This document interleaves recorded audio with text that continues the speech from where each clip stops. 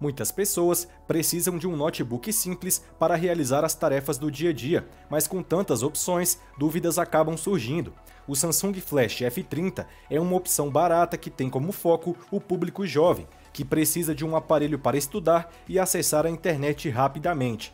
Será que ainda vale a pena adquirir este notebook? É o que vamos te contar nos próximos minutos.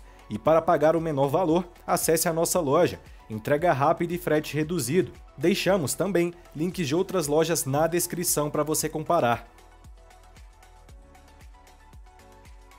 O design do F30 chama a atenção logo de cara, por ser diferente dos demais com carcaça em plástico texturizado do lado de fora e estrutura que imita tecido na parte de dentro, a construção é bastante sólida e traz conforto para o utilizador.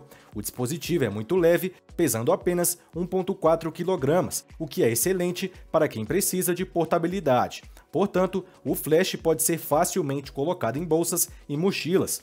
O teclado possui um visual retrô, com teclas em formato arredondado em uma primeira experiência, você pode até estranhar, mas com o tempo perceberá que é muito confortável escrever por aqui. A profundidade das teclas é boa, o que contribui ainda mais para uma digitação rápida. E mesmo sendo um aparelho considerado de entrada, há um sensor de digitais na direita, que se mostrou rápido e seguro.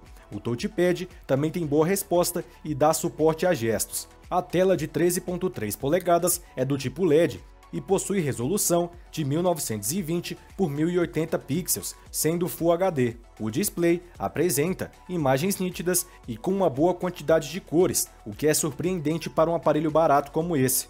Há também a função anti-reflexo, que permite uma visualização melhor em locais abertos, o dispositivo possui uma boa quantidade de conexões, tendo uma USB 2.0, uma 3.0, uma USB tipo C, entrada HDMI, leitor de cartões de memória e entrada P2 para fone. Chegamos agora no hardware. Debaixo da carcaça, o Samsung Flash opera com um processador Intel Celeron N4000, com 4 GB de RAM e com placa de vídeo UHD Graphics 600. Esse conjunto dá conta apenas do básico e é ideal para quem precisa ver videoaulas, editar documentos de texto, fazer videoconferências, consumir conteúdos e afins. Mas roda jogo?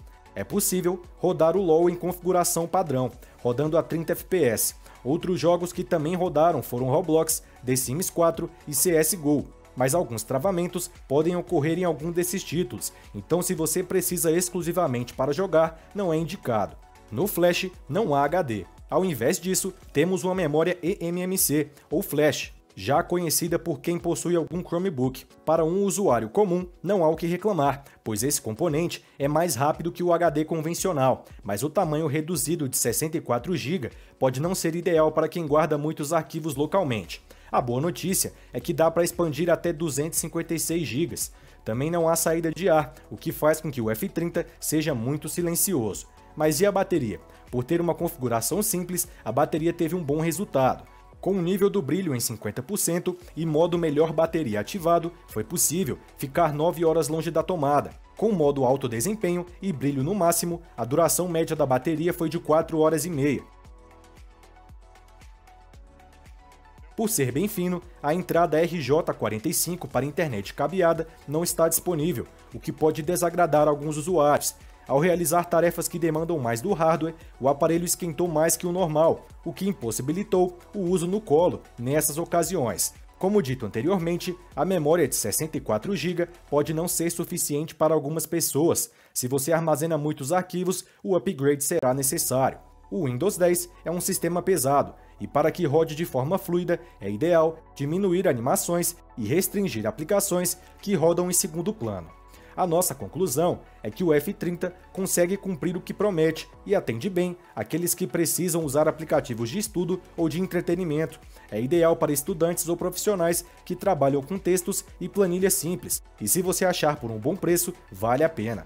Sabe aonde pagar o menor valor? Em nossa loja. Acesse pelo link na descrição. Esperamos que você tenha gostado, se inscreva neste canal para mais vídeos e até a próxima.